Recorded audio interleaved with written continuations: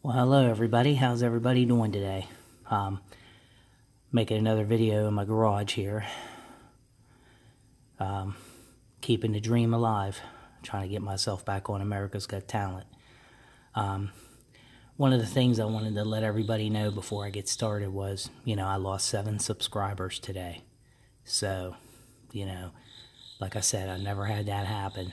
You know, um, uh, I really it really doesn't really bother me anymore because you know I'm trying to chase a dream.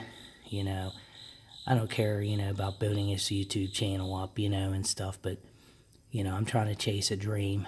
You know to get back on America's Got Talent. But you know the way I feel about it is I have supporters. You know, and I know my who my real supporters are to support my to support me all the way. You know, and that's all that matters.